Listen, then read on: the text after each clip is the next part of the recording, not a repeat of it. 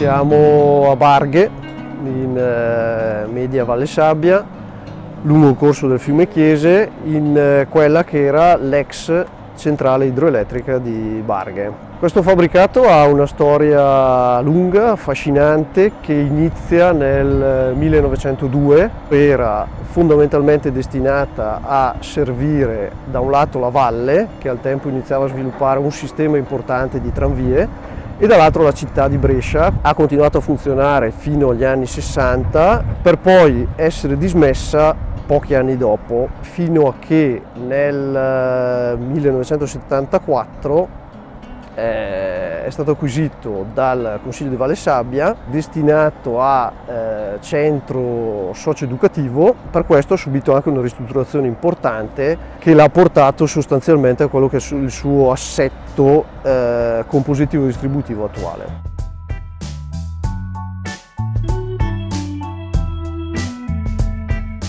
Attualmente stiamo lavorando ad un progetto di recupero della centrale il cui obiettivo fondamentalmente è quello di farla tornare ad essere un luogo di produzione.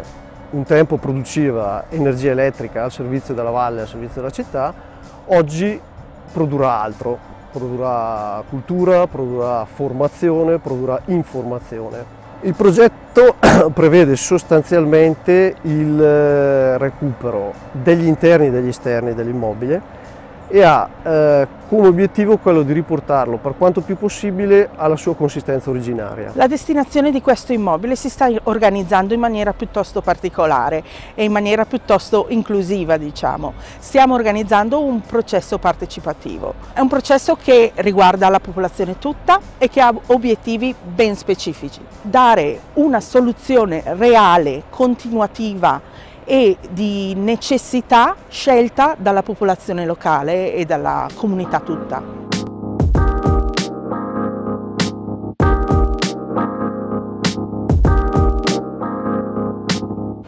Il progetto culturale che si connette all'interno di Valli Resilienti alla centrale idroelettrica di Barghe è quello relativo essenzialmente alla mappa di comunità. Si tratta di una rappresentazione dei luoghi del cuore della valle, quindi di ciò che i cittadini ritengono importante. La mappa di comunità eh, è eh, sia mm, diciamo così, una rappresentazione digitale, ma sarà anche un'installazione fisica. Abbiamo chiesto all'artista Gabriella Goffi di darci una mano un gruppo di lavoro eh, sta elaborando questa installazione che è dipinta tra l'altro su su un telo che proviene dal cotonificio bresciano Tolini in cui abbiamo deciso di ridisegnare diciamo così artisticamente in maniera più creativa la mappa con la tempera ma di soprattutto punteggiare eh, la mappa stessa di alcune fotografie stampate su tela eh, che eh, naturalmente indicano i luoghi significativi segnalati dai cittadini.